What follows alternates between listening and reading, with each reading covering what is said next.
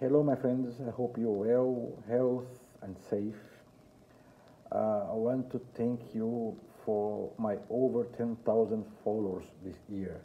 I'm very happy. Uh, I have the channel, so I'm not a YouTuber, really. I just put something interesting about my music. And uh, I'm very happy to have these 10,000 followers. It's very important to me. I'm happy to have my faithful audience. So these videos I do for you. So I, I'm very happy and it thanks a lot of the bottom of my heart.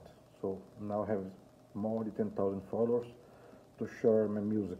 As you know, I, am not very present uh, because I'm not a YouTuber. No, I don't live for this.